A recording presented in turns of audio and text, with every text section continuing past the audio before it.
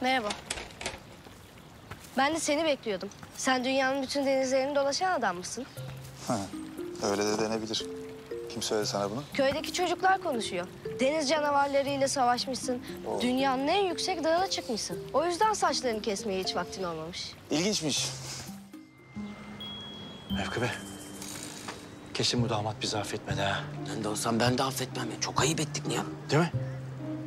Yani bir de ne kadar efendi çocukmuş. Anneciğim babacığım izin verirseniz mazur görürsünüz diye. Beyefendilik çizgisinden hiç kaybetmedi çocuk.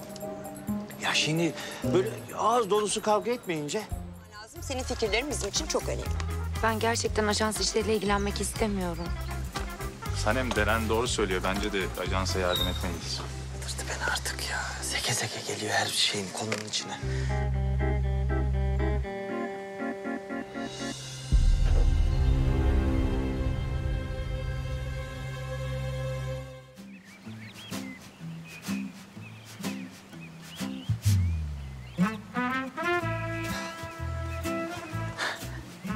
Ben de aynısını seçmiştim bu arada.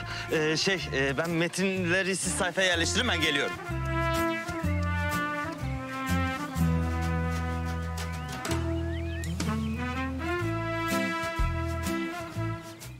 Bence beraber gidelim. Şimdi telefonum falan da yok yanımda. Bir sorun olursa Ne olur?